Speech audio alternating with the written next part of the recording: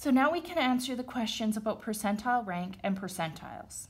Question 17a asks, what is the percentile rank for x equals 2.5?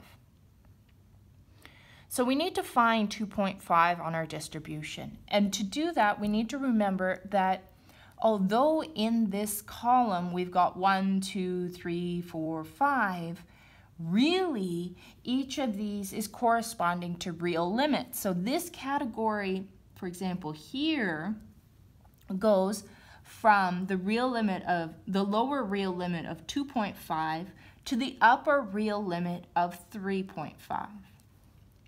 So if we want to find the percentile that's associated with 2.5, this is relatively easy because this value we can go across right here and we can see that a score of 2.5 is associated with the 35th percentile.